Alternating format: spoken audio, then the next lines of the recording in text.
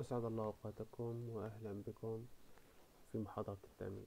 إن شاء الله اليوم راح نتحدث عن دفع قسط التأمين وراح نتناول فيه العديد من المواضيع. آه، بداية راح نتناول اللي هي الأحكام العامة التي تتعلق بالالتزام بدفع القسط. ومن ثم ننتقل إلى آه، أجل إلى المكان الوفاء وكيفية الدفع. أول شغلة بدنا نعرفها اللي هي المدين بالوفاء بالقسط. يعني مين الشخص المطالب بدفع اللي هو القسط؟ بطبيعة الحال يعني آه، بديهة المؤمن له هو المطالب بالدفع. ولكن بقولنا أحيانا بتتغير هذه الصفة آه، بالنسبة للمؤمن له. ممكن يكون ممكن أن تتعدد يعني في بعض الحالات يعني ممكن أن يكون طالب التأمين ممكن أن يكون مؤمن له. ممكن أن يكون مستفيد. وطبعا في السابق ضربنا الأمثلة كيف ممكن أن يكون المؤمن له شخص واحد ممكن أن يتعدد المؤمن له بحيث أن واحد يأمن آه، على آه، سيارته أو واحد مثلا يأمن آه، على حياته لصالح مثلا أولاده. طبعا هون بتتعدد الصفات المؤمن لهم إلى طالب التأمين والمؤمن له والمستفيد. بالأصل أنه طالب التأمين هو الذي يدفع آه، مبلغ التأمين أو القسط عفوا يدفع القسط الخاص بالتأمين.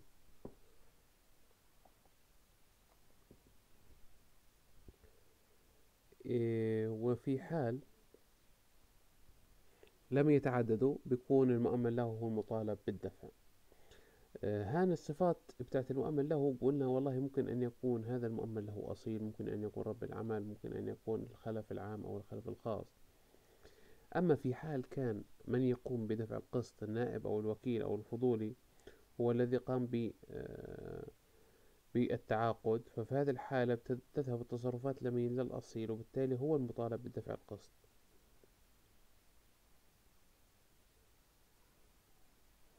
ولو قام نائب الأصيل بالدفع المبلغ ففي هذه الحالة بتبرأ ذمة الأصيل. النقطة الثانية اللي هي الدائن بقيمة القسط. يعني مين الشخص اللي مفترض يعني آه، يستلم القسط؟ بطبيعة الحال المؤمن سواء كان آه، شركة واحدة أو عدة شركات أو كان من خلال وسيط معين. ففي هذه الحالة اللي بدنا نعرفه أنه الدائن أو الشخص الذي يجب أن يتم الدفع له المؤمن. ننتقل إلى محل الالتزام بطبيعة الحال محل الالتزام بده يكون يعني بإيش مطالب المدين بدفع للدائن؟ بقيمة القسط. وبيشترط هذا بقولنا والله يجب أن يكون قيمة القسط نقدا. طيب هل يمكن أن أن يتم دفعها آه، بشيء بديل عن القسط عن الدفع النقدي؟ يعني يدفع له مثلا شيء آه، مقابل القيمة آه، المطالب بها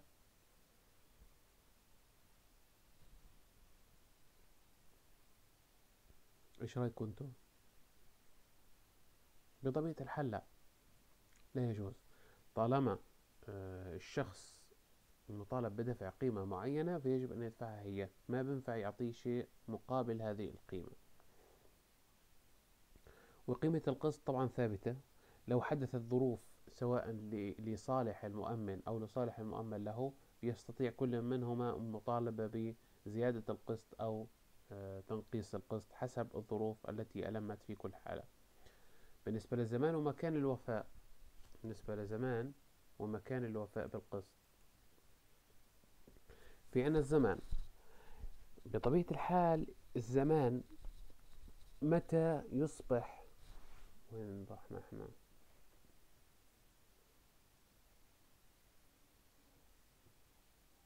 آه. بطبيعة الحال متى يصبح؟ الدين مستحق أو يجب الدفع. فور انعقاد عقد التأمين يعني مجرد نشوء العقد التأمين يصبح هناك التزام بدفع القسط. واضح الأمر؟ طيب متى يدفعه كلما حل الأجل؟ طب أهم بقولنا والله يجب التمييز بين الأجل وبين مدة السريان الأجل ليش بروح هيك الأجل خلينا نحط هذه. آه. الأجل ومدة السريان مدة السريان هي فترة سريان العقد يعني سنة سنتين ثلاثة. الأجل ممكن أن يكون الأجل بيكون كل مثلا شهر أو كل نصف سنة أو كل سنة حسب. مدة السريان هي مدة سريان العقد ككله. ممكن يكون سنة تنتين ثلاثة وما إلى ذلك. الأجل بيكون الفترة التي يجب الدفع فيها. ممكن أن تكون شهرية ممكن أن تكون نصف سنوية ممكن أن تكون سنوية. واضح؟ بسيطة وسهلة الآن بالنسبة لمكان الوفاء مكان الوفاء المعروف أنه آه، الدين مطلوب وليس محمول إيش معنى ذلك؟ ما معنى أنه الدين مطلوب وليس محمول أنه الدفع مكان الدفع بيكون مكان المؤمن له الدفع بيكون مكان المؤمن له إيش معنى ذلك؟ إيش المقصود بذلك؟ أنه والله طالما أنت يا مؤمن اتفقت مع المؤمن له على آه، دفع القسط فبده يكون الدفع في محل المؤمن له. يعني المؤمن له لو كان في غزة والمؤمن في رفح مثلا والله القسط بندفع في غزة. طيب الآن بقولنا والله هذا الأصل ولكن في عندنا ما جرى عليه العمل. إنه الدفع القسط الأول بيكون وين؟ في موطن المؤمن يعني في رفح. أما باقي الأقساط بتكون وين؟ في موطن المؤمن له. يعني الفارق بطبيعة الحال الثابت والأصل إنه الدفع في موطن المؤمن له. ولكن استثناء عليه العمل إنه أول قسط بيدفع في موطن المؤمن. بعد هيك بكون في موطن المؤمن له. طب كيفية دفع القسط؟ يعني كيفية دفع القسط كيف بتكون؟ بتكون من خلال الآتي يا إما نقدا يا إما بموجب شيك يا إما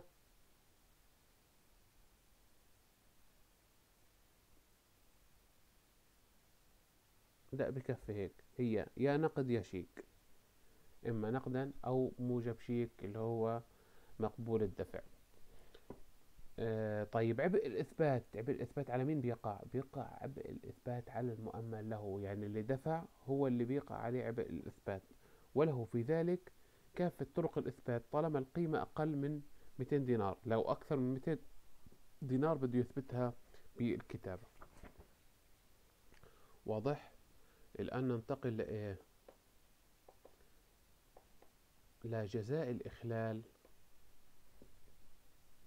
بالالتزام بوفاء بالوفاء آه، بالقسط. يعني بمعنى والله لو واحد ما التزم بالوفاء بالقسط إيش بده يكون في عنا إجراءات لهذا آه، أو جزاءات لهذا العمل؟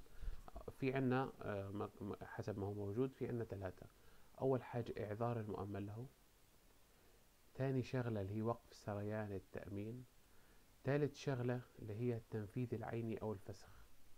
وراح نتناول واحدة واحدة فيهم. أول شغلة فيهم إنه إعذار المؤمن له. يعني والله يا مؤمن له خد بالك أنت تأخرت في دفع القسط ويجب أن تدفع القسط. وبوجه له إنذار إيه؟ رسمي سواء كان كتابي أو شفوي. طب إيش بيترتب على هذا الإعذار؟ يعني إيش النتائج؟ بقول أول شغلة والله يصبح محل الوفاء بقيمة القسط في موطن المؤمن. مش قلنا توي محل اللي هو الوفاء وين؟ بيكون في موطن المؤمن له. ولكن في حال إعذاره إنه أنت تأخرت يعني في حال تأخر وأعذره بصير في موطن المؤمن المؤمن. اثنين قطع تقادم دعوى المطالبة بالقسط. كيف يعني؟ معنى ذلك إنه والله الآن لو لو كان دفع سنوي تمام؟ دفع سنوي هي سنة. هي تنتين هي ثلاثة سنة تنتين ثلاثة تمام؟ الآن هو تأخر وما دفعش هاي السنة. حلو هاي السنة ما دفعهاش. الآن تبدي سريان إيه مدة التقادم. طالما أنت ما, ما طلبتش بهذا القسط تمام؟ هذا القسط إذا ما طلبتش فيه مثلا خلال ثلاث سنوات بتقادم حقق بالدعوة وبتقدرش ترفع اللي هي إيه دعوة على هذا الشخص. تقدرش ترفع دعوة عليه وطلبته بقيمة القسط اللي هي عن السنة اللي راحت. طيب الآن لو أنت قمت بإعذاره بقول لك والله أنت مثلا بعد سنة السنة الثانية قمت بإعذاره شايف كيف؟ إنه أنت ادفع اللي عليك هان. فبصير قطع بالمدة المدة تنقطع هان وبيرجع يبدأ من جديد. واضح الأمر كيف؟ التقادم بيوقف بيبدأ من جديد طالما أنت قمت بإعذار بدء سريان مهلة الوفاء. أو عفوا بدء آه، حساب مهلة الوفاء بالقسط. هل بيتم تحديد مدة محددة لدفع القسط؟ طالما تخلف بيتم إعذاره. بيبدأ المدة كمان من جديد إنه بنعطيه كمان فترة تانية إنه ادفع بالقسط. والله ما دفعش. بيبدأ إيه؟ بيبدأ إنه نقول والله نحن بدنا ننتقل للنقطة الأخرى وهي وقف سريان التأمين. يعني بدنا نوقف سريان التأمين إذا أنت ما دفعتش خلال الشهر الثاني. واضح؟ لأن ننتقل إلى الجزاء الثاني. الجزاء الثاني اللي هو وقف سريان التأمين. إحنا أعذرناه الآن. النقطة الثانية اللي هي وقف سريان التأمين. كيف يكون وقف سريان التأمين؟ قلنا والله الوقف أول حاجة إيش المقصود بالوقف؟ هو وقف مؤقت لالتزام المؤمن له بتحمل تبعة الخطر المؤمن منه كجزاء للإخلاء لإخلال المؤمن له بالتزامه بدفع القسط المستحق مع استمرار تحمل الأخير بكل التزاماته. يعني بمعنى أقولها أقولها لكم باختصار وقف سريان التأمين. يعني وقف التزام المؤمن بتحمل تبعة الخطر المؤمن منه في في خلال الفترة القادمة. يعني بمعنى أنت ما دفعتش القسط يبقى أنا مش راح أنا أغطي أي تأمين أي مبلغ تأميني خلال هذه الفترة. يعني لو زي ما ضربنا مثال هان خلينا نمحي هذا. يعني خلال هذه الفترة تمام؟ أنت ما دفعتش القسط هان. لقيت أنا طول الفترة هذه القادمة لا يغطي فترة التأمين. لا يغطي مبلغ التأمين أو اللي هو المحل التأمين عفوا. الشيء المؤمن من من له. الشيء المؤمن له. يعني لو أمن على حريق أو على سرقة خلال هذه الفترة اللي أنا أعذرتك فيها وما دفعتش أنا ما بقدر ما بغطي لك أي حادثة سرقة أو أي حادثة حريق. واضح الأمر؟ الآن بقولنا والله شروط وقف سريان التأمين. يعني كيف أنا ممكن أوقفه؟ بقولنا أول حاجة اللي هي إخلال المؤمن له بالتزام ودفع القسط. اللي هو هذه. هو ما دفعش القسط وأنا أنظرته وبعد ما أنظرته والله قال لي أنا بديش أدفع. الشرط الثاني إعذاره. يعني أول حاجة بده يخل هو يعني ما يدفعش. ثاني شغلة إني أعذره. يعني أنبه عليه إنه والله أنت ما دفعتش. الشغلة الثالثة إنه تنتهي المدة المحددة للوفاء يعني أنا بقول والله بدك تدفع خلال شهر. بدك تدفع خلال أسبوعين. طبعا ما جرى عليه العمل اللي هو خلال 30 يوم. يعني إعذاره خلال الدفع خلال 30 يوم. ما دفعش خلال ال 30 يوم وقتها إيش بصير بيصير إنه بنوقف سريان التأمين. عرفنا كيف؟ طيب والله أوقفنا سريانه. طب إيش بترتب على وقف سريان التأمين؟ قلنا والله يترتب عليه جزائين. إيش هو؟ قال وقف التزام المؤمن بتحمل تبعة الخطر. يعني والله لو حدث الخطر خلال هذه الفترة القادمة إيه؟ ما بتحملش تبعته. يعني لو صار لو مأمن على سرقة وصار سرقة بتحملش التبعة لو صار لو مأمن على حريق وصار حريق بتحملش. اثنين التزام المؤمن له بدفع آه كافة التزاماته الناشئة عن العقد. يعني أوكي أنت ما دفعتش القسط ولكن بيضلوا عليك. يعني الالتزامات راح تضلها مفروضة على الشخص المؤمن حتى وإن لم يدفع مبلغ التأمين. راح يضل كل هيته متراكم عليه. وبضل الالتزامات الأخرى الالتزامات المتعلقة بأنه لو صار حادث يجب أن يقوم بإخطاره يجب أن يتم بإعلامه. والالتزامات المنبثقة عن العقد التأمين الالتزامات الأخرى برضو بده يضل ملتزم فيها. واضح الأمر؟ الآن آه نقطة بعد ما قلنا والله أوقفنا الصريان كيف بدنا نزيل آه عفوا كيف بدنا نوقف آه نزيل الآن الوقف هذا كيف بدنا نزيله عفوا مش زوال زوال وقف. يعني بعد ما أوقفناه كيف بدنا نرفع هذا الوقف؟ لقيت إحنا تبعا لهذا الإجراءات قمنا بإيقاف اللي هو السريان تمام؟ كيف بدنا نرجع؟ كيف نرجع العقد للسريان؟ بيكون بي بي من خلال الآتي من خلال دفع قيمة القسط المستحق وتحمل إيه المصاريف الزائدة. يعني ممكن أن يتم دفع غرامات ممكن أن يتحمل دفع اللي هو التكاليف التي تتعلق بالمصاريف الزائدة عن التأخر مثل إرسال الإخطار إرسال مندوبين الشركة وما إلى ذلك. وبيكون زوال هذا الوقف بأثر فوري. يعني بمعنى والله لو حدثت سرقة أثناء الفترة نقول بين هاي وهاي. يعني خلال هذه الفترة هو ما دفعش. لو حدثت سرقة الأهانة وبعديها هو يدفع ما بغطيش أنا إله السابق الفترة اللي كان متأخر فيها عن الدفع. فقط على الفترة اللي هي القادمة اللي هي هان والفترة السابقة اللي كان يدفع فيها. أما الفترة اللي ما دفع فيها هاي أنا ما بغطيها إله. هاي الفترة ما بغطيها إله لأنه ما دفع. وكان اللي هو سريان التأمين واقف في هذه الفترة.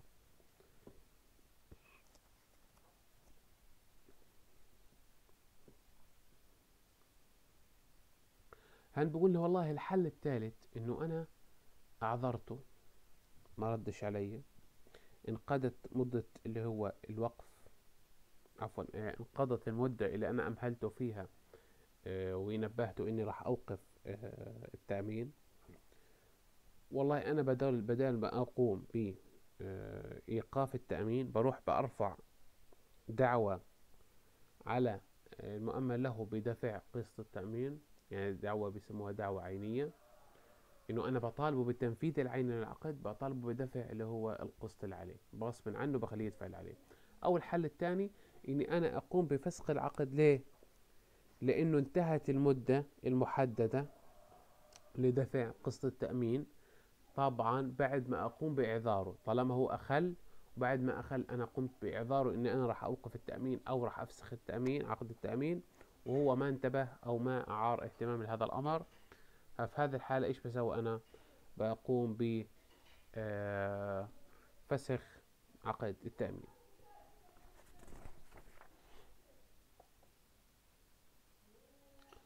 النقطة الأخيرة أو الموضوع الأخير هو الإخطار بتحقق الخطر المؤمن منه.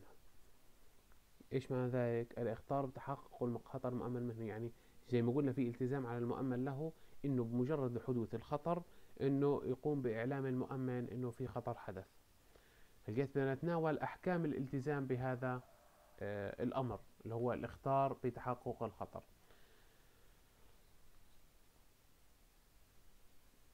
الآن حدث أمر معين. والمؤمن له ما اختارش المؤمن. تمام؟ الآن إيش الحالة اللي آه بتنظم هذا الأمر؟ أو بمعنى آخر متى أنا كمؤمن له بي يعني بيكون لازم علي أو يعني يوجب علي باختار المؤمن المؤمن المؤمن عن اللي هو الخطر الذي حدث؟ أول حاجة وأول شرط لازم يتوافر الوجوب الاختار هو تحقق الخطر المؤمن منه. يعني والله مأمن على سرقة صارت سرقة مأمن على حريق صار حريق. هذا أول شرط أنه تحقق الخطر. اثنين علم المؤمن المؤمن له بمسؤولية المؤمن عن هذا الخطر. إيش معنى ذلك؟ إن والله بعد وقوع الحادثة أو تحقق الخطر قلنا يجب أن يتوافر لدى المؤمن له العلم بأن هذه الكارثة تمثل الخطر المؤمن منه.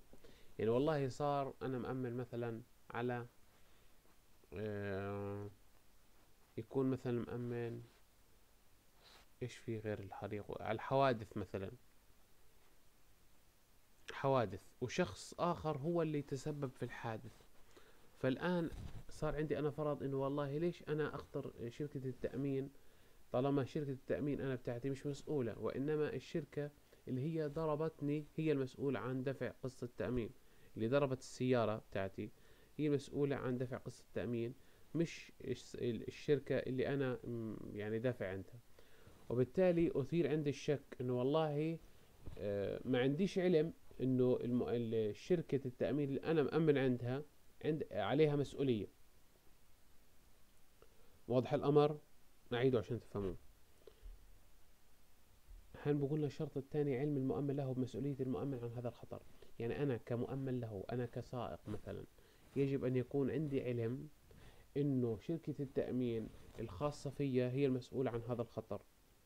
لكن لو كانت غير مسؤولة ففي هذه الحالة ما بيوجب علي أن أنا أقوم بإعلامها. واضح الأمر؟ آه، النقطة الثانية اللي هي القيام بالإخطار عن تحقق الخطر. القيام بالإخطار عن تحقق الخطر وهذا يفرض على المؤمن له أن يقوم باختار المؤمن له آه، بطريقة آه، المحددة في العقد التأمين وخلال فترة معينة. في العادة كانوا بيحطوا والله أعتقد أسبوعين بيحطوا أسبوعين معاد للإعلام بمجرد تحقق الخطر المؤمن منه سواء كان مثلا حريق أو سرقة أو خلافه. وإذا ما أخطروا خلال هذه الفترة بيحدث عليه جزاء. النقطة الثانية الشكل اللي اختار بتحقق الخطر وميعاده. الشكل قالنا فيه أحيانا حسب ما هو مكتوب في العقد بالعادة بيكون من خلال خطاب عادي أو تليفاكس يعني بطريقة آه، رسمية. واضح الأمر؟ بطريقة رسمية. عبء الإثبات عبء الإثبات على مين يقع؟ يقع على المؤمن له. عبء الإثبات ب اللي هو الإخطار أو وصول الإخطار يقع على المؤمن له. طب بالنسبة للميعاد الإخطار والله المشرع الفلسطيني لم يحدد ميعاد للإخطار. واضح الأمر؟ وإنما تركوا للقاضي هو الذي يحدد الفترة المعقولة التي يمكن خلالها أو يجب خلالها أن يقوم المؤمن له بالإعلام المؤمن عن الخطر الذي وقع. طب إيش الجزاء؟ والله إيه، لم يخطروا. إيش الجزاء؟ وقلنا والله الجزاء الإخلال بالالتزام بالإخطار عن تحقق الخطر بيكون من خلال اللي هو آه، جزائين. الجزاء الأول يمكن أن يكون من خلال خفض قيمة التعويض المستحق عند تحقق الخطر يعني بدل ما أدفع له عشرة اللي هو مبلغ التأمين بدفع له خمسة أو سبعة. الثاني اللي هو سقوط الحق في التعويض المستحق عن تحقق الضرر. يعني والله كان مفترض يخبرني عن آه الأمر الذي حدث وما خبرني ففي هذه الحالة والله بقوم أنا بإسقاط حقه في التعويض. يعني ما بدفع له مبلغ الذي كان يجب أن يقوم به هو مبلغ التأمين. ما بدفع له مبلغ التأمين لأنه لم يخبرني أو لم يعلمني بتحقق الخطر. وهان بيشترط في بعض الأحيان أو معظم الأحيان بيشترطوا أنه يكون هذا الأمر كان نتيجة أو ناتج عن سوء نية للمؤمن له. الآن مين بيقدر يثبت سوء نية المؤمن له في عدم الإخطار اللي هو المؤمن؟ وإن شاء الله المرة القادمة بنكمل في الحديث في باقي المحاضرات. يعطيكم ألف عافية.